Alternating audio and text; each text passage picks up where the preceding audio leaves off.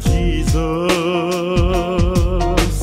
Peace and the love, there will be peace and the love. There's always peace and the love when you have Jesus.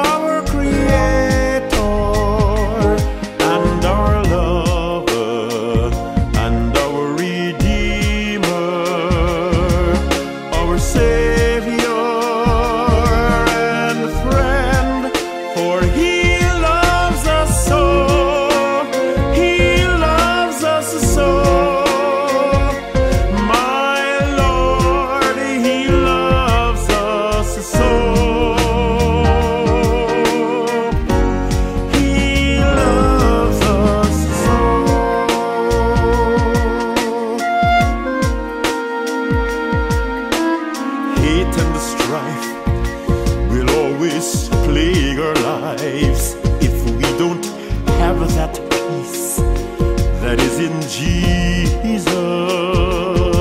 So come to Him right now, He's calling you so you can have that peace that we find in Jesus.